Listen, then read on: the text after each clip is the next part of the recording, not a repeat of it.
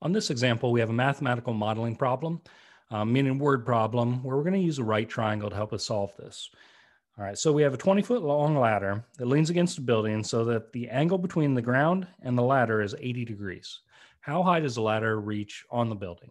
So I always find it really helpful if I draw a picture first, um, just to kind of, even if it's a very basic right, right triangle, um, to help us get everything labeled in the right place.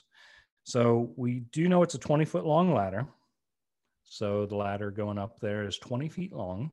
And then it is an angle of 80 degrees between the ground, the bottom, and the ladder.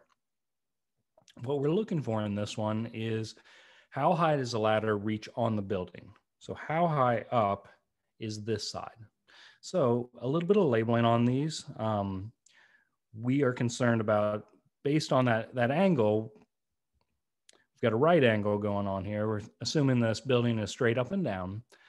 Um, when we're referring to the 80 degrees, this would be referred to as the opposite side.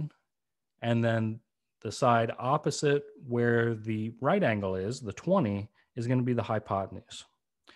So what we want to do is use SOHCAHTOA and pick out which trigonometric ratio involves the opposite and the hypotenuse. That's the key on most of these. After you get a, a picture drawn, you need to pick out the right trigonometric ratio.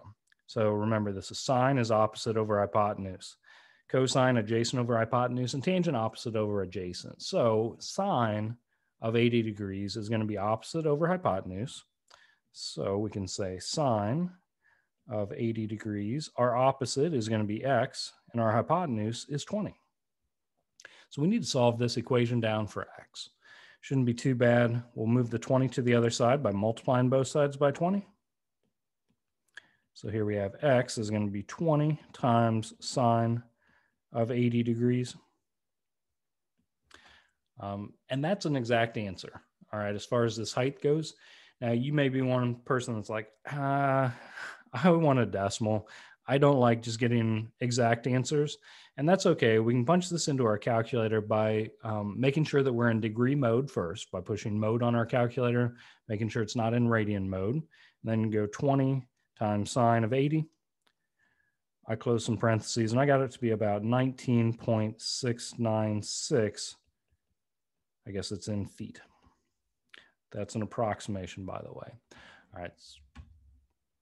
Pretty steep ladder. All right. Hope this helps in setting up this word problem, this mathematical modeling using trigonometric ratios. Good luck to you with them.